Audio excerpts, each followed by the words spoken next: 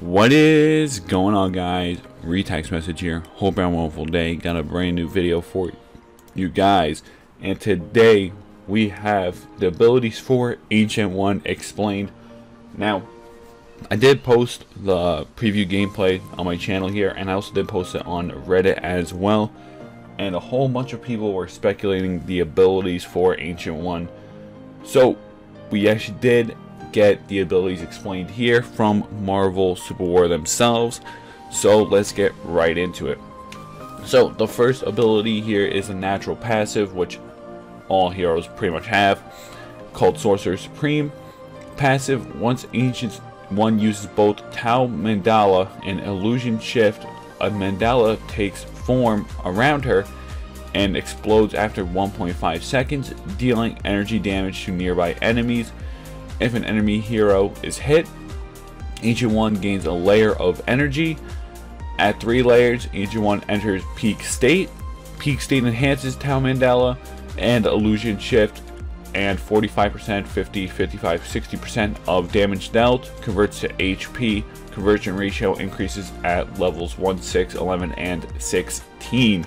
So I would definitely be uh, adding some HP uh, armor for uh, her build and whatnot. I believe it's definitely her.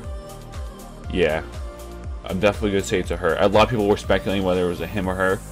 But, like, there's one line in the gameplay. Says something about, like, weak for a man whatever. But I'm to say that Ancient One is definitely a female. Ability number one, Tau Mandala.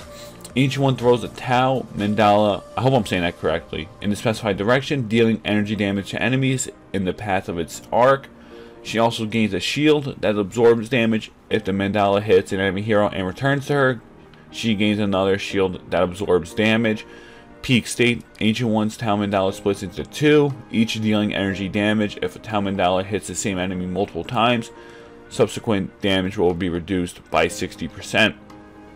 That just seems like a, a lot of nonsense in my opinion. I just think that's a lot of unnecessary stuff in this one. But anyways, Ancient One Illusion Shift blinks in the specified direction. Peak State reduces the cooldown for Illusion Shift. So the passive after getting three layers is Peak State, and all the abilities use Peak State from what I'm seeing so far in every opportunity they can. Number three, Astral Projection.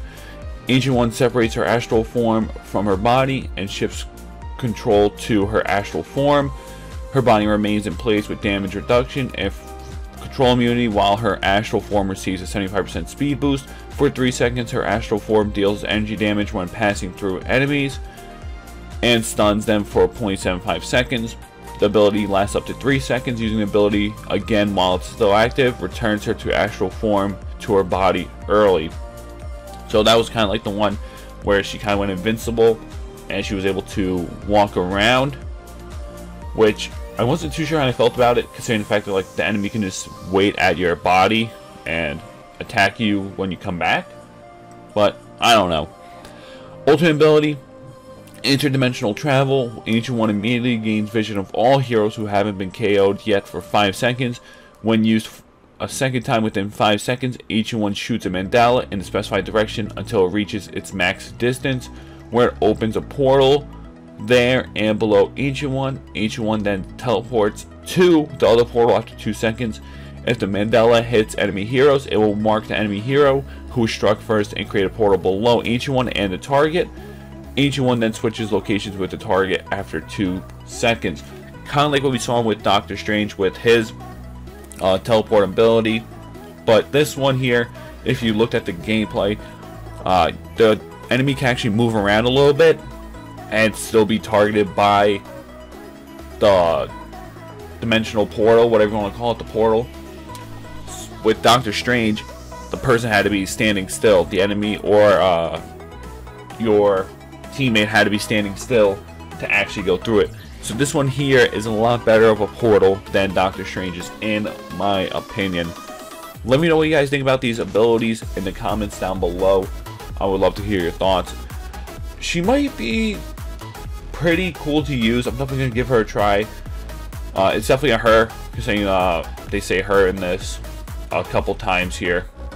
But there's a comment that she makes saying that I'm weak for a man or something like that. But yeah, it's definitely a her. But yeah, if you guys did enjoy, drop a like, subscribe if you're new. Leave a comment down below. Also follow all my social medias. They're popping up on the screen. But yeah, guys, I'm out. Have a wonderful day. Peace.